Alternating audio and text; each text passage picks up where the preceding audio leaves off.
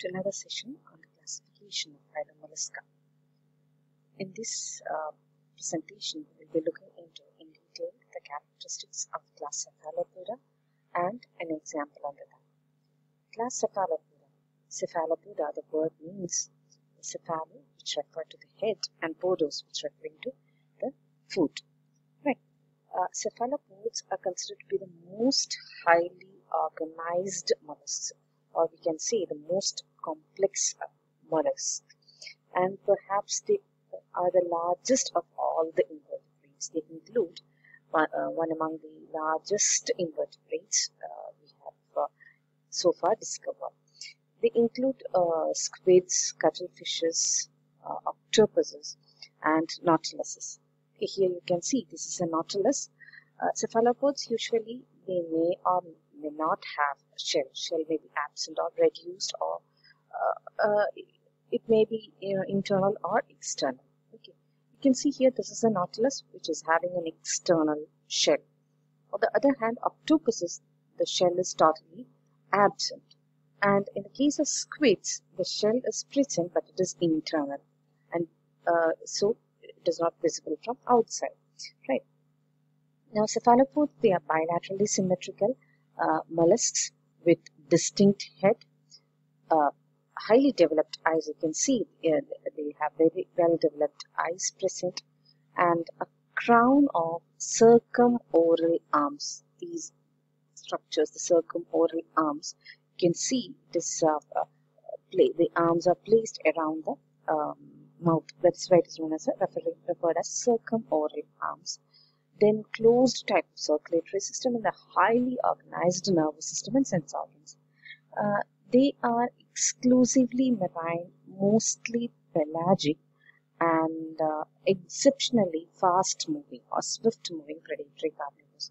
You can see squids and octopuses, they are fast moving uh, carnivores, uh, but normally we can see that octopuses, they usually move very slowly uh, uh, on the substratum but when needed, then they are fast movers. Okay. Now, regarding the characteristic features, as already mentioned, they are bilaterally, they have a bilaterally symmetrical body with distinct and highly organized head and um, eyes. Now, anterior part of the foot. Okay. Now, coming to the foot, uh, the anterior part of the foot is modified uh, into a crown of prehensile circumoral arms. Prehensile in the sense the ones which can be used for holding on to something. Okay, just like the like uh, hands or like a tail in the case of monkeys, prehensile. Okay, even in the case of seahorses, the prehensile tail can.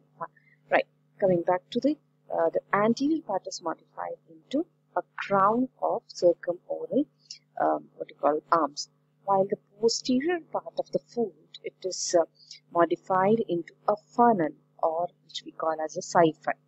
Okay. So here you can see the foot it is ready it is modified into two structures one is the arms and the other is a siphon which is ventrally placed okay so uh, the foot it is modified into a series of prehensile uh, circumoral arms or what we refer as the tentacles and the ventrally it is modified to form the posterior part of the uh, what you call foot. It is uh, modified into siphon, exhalent siphon or funnel on the ventral side. Okay.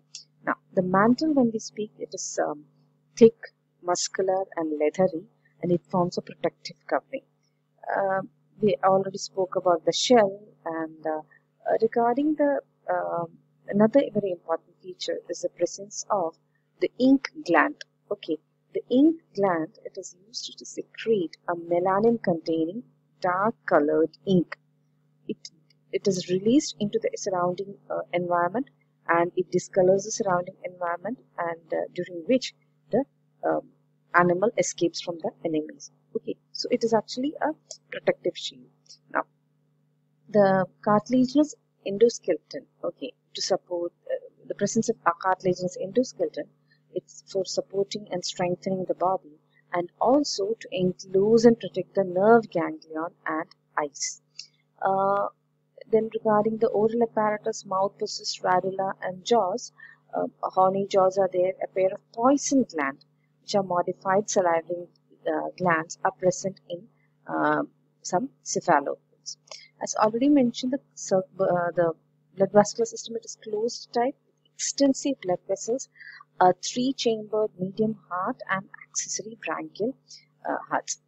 Then nervous system it is highly organized, well-developed eyes, high degree of intelligence, and great learning powers. Okay, you may find many videos which uh, shows how the octopuses use coccynic shells as protective covering and how they uh, use various techniques to uh, uh that exhibit their high uh, intelligence. Okay, then sexes are separate and uh, males have a characteristic copulatory organ.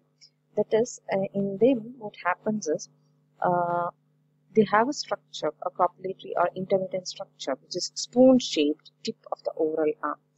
Uh, you can see here that um, in the case of squids and all, we can see they have the uh, tentacles, and one among them is large, and they these um, actually have the anterior-most part being modified to form a spoon-shaped tip.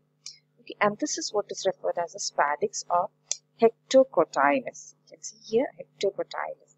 And this is used for transferring the spermatophores into the mantle cavity of the female.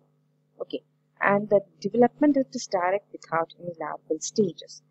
Uh, another important feature which you can see in many of the cephalopods is the uh, ability to change the color. Okay, the unusual power of color changing. Uh, it is uh, found it maybe as a protective adaptation. Okay, just like camouflaging.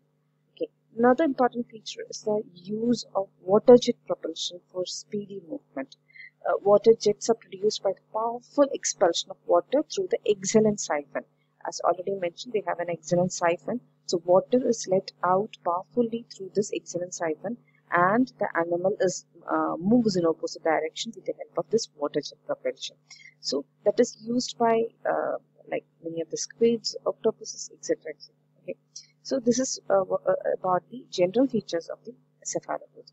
Regarding sepia, sepia, sepia it is um, uh, normally known as cuttlefish. It is a marine mollusk, and here the shell is completely internal, and the body is co uh, covered by mantle. Extra, since external shell is absent, it is uh, covered and protected by a mantle.